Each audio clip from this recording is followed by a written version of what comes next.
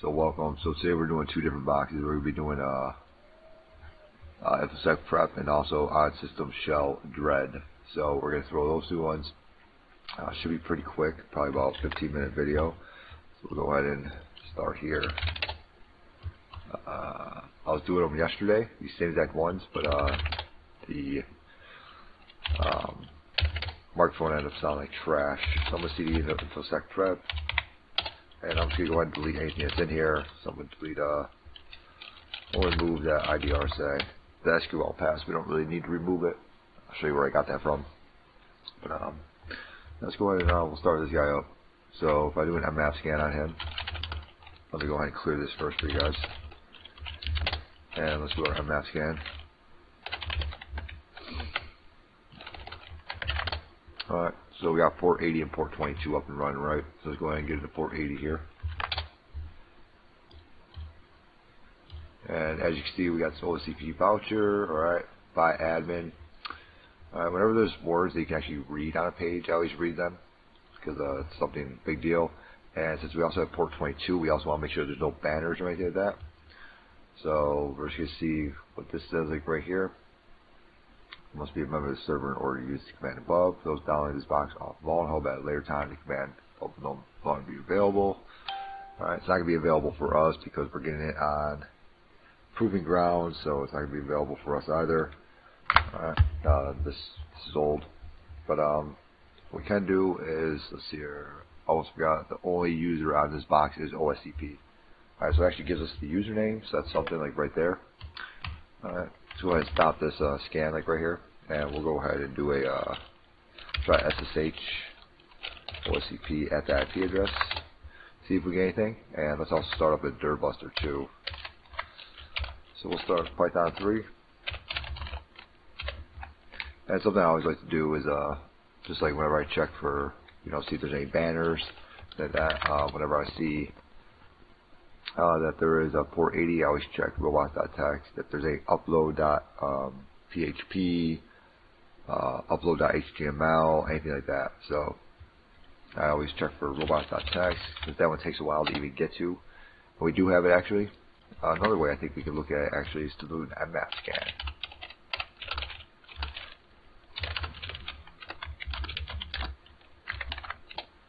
We'll let that run like real quick. So we also see we do have a WordPress content down here too. The first time I was doing this, I just let this guy go ahead and run. I saw the WordPress stuff, started work on trying to do some WordPress stuff, and uh, realized I wasn't really getting anywhere with that.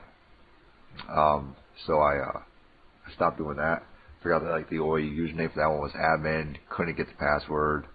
Um, my WordPress scan wasn't able to crack the password, things like that. So you got a wordless, you obviously could, but I was not getting anywhere with that one. So I and stopped that. But um, let's see, we know we have robots.txt and it says secret.txt. Let's go ahead and uh, copy that. And we'll try this like real quick. And we get this guy right here. Now this to me looks like an RSA key, just hashed into something else, like a base 64 hash or something like that. Um, I can go to CyberChef and try to figure it out. So let's try that. We'll do a little CyberChef here. Whoops. It's just to be able to figure it out, right? CyberChef. And yeah, we do see that there is a robots.txt. So if we did that web scan slash secret, cool. Alright, so we know that there is robots.txt. If uh, you just didn't want to try, just throw a whole bunch of different stuff at it. Let's go ahead and throw that in there, and then we'll do from base 64. Try that first. See if we anything, and 100% we do. Alright, so we have a begin open SSH. That's like I thought, it looks like an IDRSA key. So let's go ahead and grab that. And we'll nano ID RSA. Throw that in there. And they did say that the only user was OSCP, right? So let's go ahead and do a SSH TAC I OSCP. That's the IP address, which I definitely just messed that up. Okay, SSH attack I OSCP at the IP address.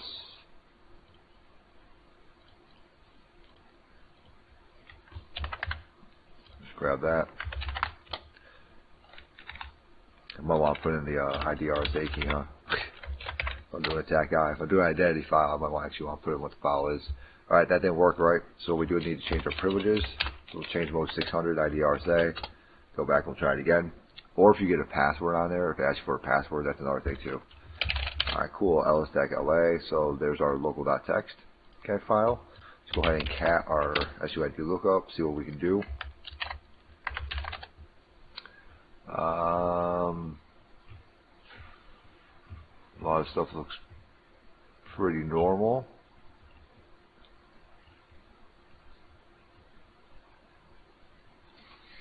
I think that user bin bashes something right there. But let's go ahead and uh, do um. Let's throw limpies at it. Uh, privilege escalation also scripts. All right, limpies. We just go ahead and throw limpies at it. We can see uh, what our best uh, attack vector is going to be. So let's go ahead and start our Python server. Instead of just throwing a whole bunch of different stuff at it, we do that.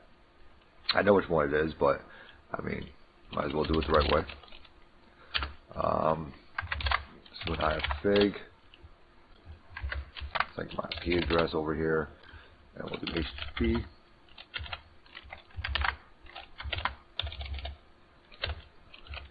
sh. Alright, um, and we'll put it to the slash temp folder. Okay, so if I see just slash temp now, LSTech LA, I should have limpies in here.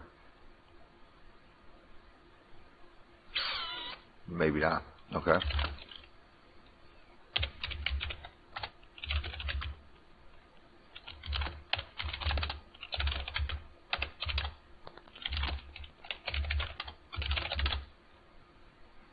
Okay, let's put it like right there. Kind of surprising me. So let's change mode for libps. We'll do plus X for libps.sh. Whoops, that's not a thing. libps.sh. Let's go ahead and run that. So we do see that they do have a Docker running. We could uh, upgrade like that. They also had sudo had uh, saying that hey something's wrong there.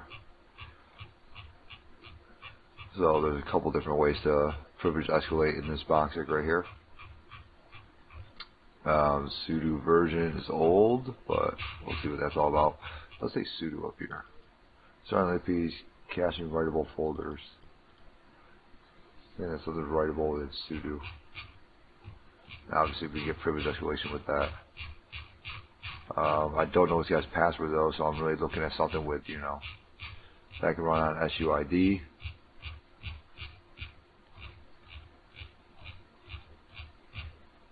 Um, we do have a MySQL server up and running right here. So there's that Docker and sudo again. Alright, sudo again. wonder what uh, we can do with that, like right there. Check that out and see what we can do with it.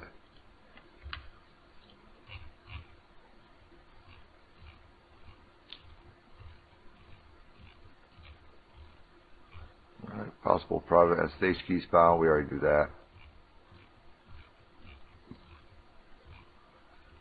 user bin bash saying that that's a privilege escalation user bin bash alright cool I wonder if I can do with that other one because I know that one of them works so find all SUID binaries see this one you would become be prompted for your user password we don't know the user password yet but we do know that we can do a GTFO bins and maybe able to look at um, user bin bash. Right. So we have SUID here. Okay. Bash tac p. So let's try to do a slash user bin bash tac p. Let's try that. And who am I? And we see that we're root now, so we cd slash root la and there's our proof.txt. Alright, um, if you want to see how to get an SQL server, we can do MySQL today. The 3306 is MySQL, tech U username. I just figured it was root. I enter, and there's no password. So that made my life a lot easier. We can do a show databases. Uh, we can uh, use WordPress. Okay, show tables. And then we can uh, select star from, so I select everything from WordPress users. Okay. And as we can see, we have an admin user here, and that's his hash password. So with a strong enough uh, list, you can obviously crack that also. uh, you can go ahead and look through all these different guys and stuff. Um, I wasn't really finding anything too important in there, but it is something that you should know how to do. And uh, MySQL is something that's used often. So that's that one, like right there. Like I said, we are going to be doing two today, so we will go ahead and we'll go into uh, go ahead and get into. I think we were doing. I don't remember what we were on system shell dread, right? Uh, I don't know why I even CD'd in there. So last night, if you were watching that stream, um, I totally forgot how to even do it. And uh, yeah, I totally forgot how to do that one. And then I had to, uh, I did it again, and I realized why I forgot how to do it. This one's pretty easy, but um, still good one. I mean, still good for you know beginners. Um, just doing one, getting your uh, just make yourself feel better. I don't know.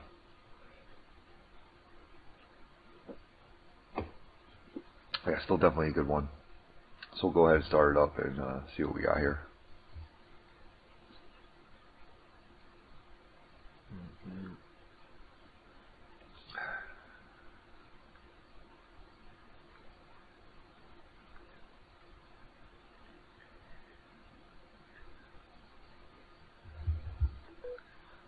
Alright, cool. So this got started up. So let's go ahead and uh, get into him.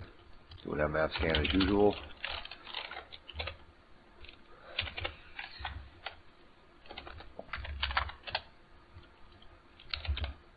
Alright, we do see that port 21 is open, so whenever we see port 21, we always want to dig a little bit deeper into that, right?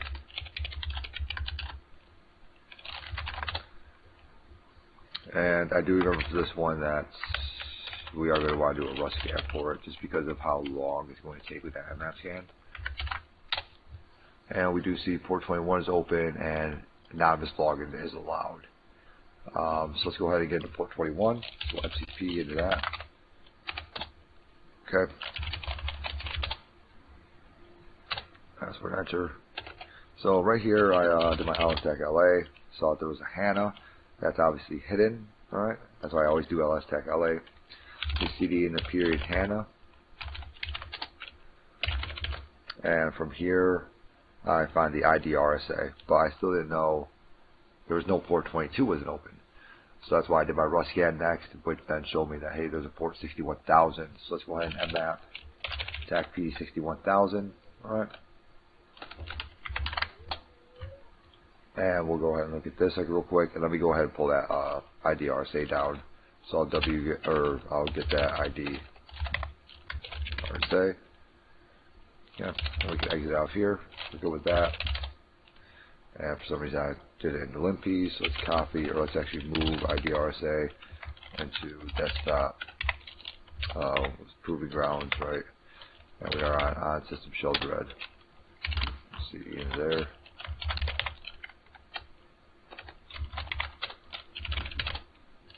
Okay. And there we go. There's our, our IDR Um, so as you see, we have our, this is for SSH. Let's go ahead and uh, change that up. So change mode 600 for our DRSA. And we think the user is Hannah like right now, right? So let's go ahead and log in. Uh, SSH tech I, IDRSA, RSA. TAC P61000, right? And it's going to be Hannah at the address. And we're in. Okay, cool. That's TAC LA. See what we do in here? We got our user local.txt. Uh, I'm not going to show you local.txt, but I will show you user.txt, which says that your flags in our file. Alright. Can we sudo check out? Nope, we can't. Okay, so let's go ahead and do a cat for uh, SUID lookup. So we go ahead and run here. And this is right where, if you were watching earlier, if you noticed, it said something about CPU limit. Um, I, I don't know why someone would need CPU limit, nor do I know what that would do for somebody. Let's go ahead and look at GTFO and look at uh, CPU limit. CPU limit. Yep. Uh, the SUID, if we run this like right here, supposedly we can become root. Alright, um, yeah, that was a weird one. That F user mount and mock, all these ones. Like I didn't understand any of these ones. MAWK. See if that guy. Oh, I'll try something too. We probably try this one. Want to try this one? We're gonna try this one like real quick because I already know that CPU limit works. So I'm gonna try this guy like real quick. Um, so what is that? That's user user bin mock.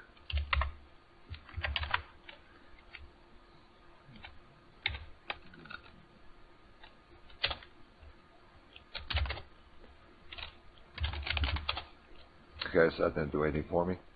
That's okay though. Let's go ahead and exit out of that. Alright. Um, let's try this F user mount. Try that one. This is just me just messing around now. Since this video is only about three seconds long. Okay, cool. So we'll go back to CPU limit. And we'll do our SUID for it, right? And we'll go ahead and uh, put in there a user bin CPU limit. And we'll ahead and delete that.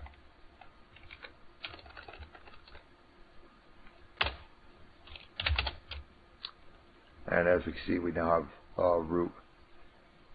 We belong to the root group now. So who am I? Okay, I am root. Okay. I are root. So let's in the root. LSTech LA. And there's our proof.txt. So just so that we could do this, I was going to look at my root cat.txt. And, uh, yep, so it is in our proof.txt, so you guys can go ahead and do that and look at that one. Alright, and that's how to do both on system shell dread and infosec prep. Prep. So that's two of them. Uh, hope you guys learned something and have a good one.